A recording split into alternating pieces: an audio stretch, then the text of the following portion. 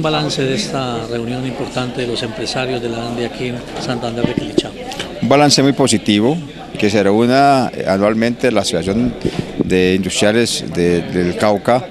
para examinar lo que ha pasado en el año que transcurre y lo que hacia adelante eh, se va a hacer es muy importante. Hay que reconocer que esta es la gente que invierte sus recursos, corre un riesgo, genera empleo, genera ingresos, utilidades, desarrollo social y por eso acompañamos nosotros estos esfuerzos eh, y estas organizaciones porque de aquí depende en buena parte la posibilidad de generar mejores eh, puestos de trabajo, más puestos de trabajo y por supuesto invertir en el desarrollo en general de esta región y de todo el departamento. ¿Se está sintiendo el cambio en el departamento del Cauca cuando se habla de una economía del conocimiento? No hay duda, no hay duda que no solamente estamos en presencia de un cambio estructural eh, eh, en temas materiales, sino también en la concepción de la gente. Ya tenemos líderes que están pensando mucho más allá de lo que aparentemente se ve,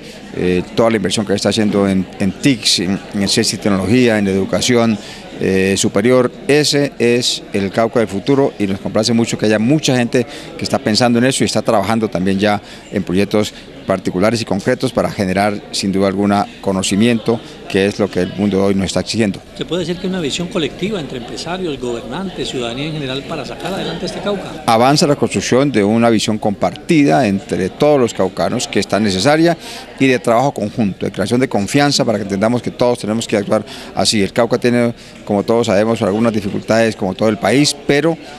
hay claridad, hay voluntad, hay decisión de trabajar conjuntamente y eso es muy importante para lo que se viene hacia adelante. Cambiando el tema, gobernador, eh, esta semana se dice que ya el gobierno nacional va a firmar el acta de inicio de la construcción de la doble calzada Santander de Clichao Popayán, que le va a servir mucho al departamento del Cauca. Sin duda alguna, el próximo martes, el próximo martes estaremos en Popayán con el vicepresidente de la República, doctor Germán Vargalleras, firmando el contrato de construcción de la doble calzada Popayán Santander de Clichao, una vía muy importante además de por los efectos materiales, económicos, de empleo que genera, es también por la conexión que ya se hace entre esta región del norte y, Popayán, que es vital para mantener el Cauca unido y por supuesto generar mucho más desarrollo económico, social y cultural en el departamento.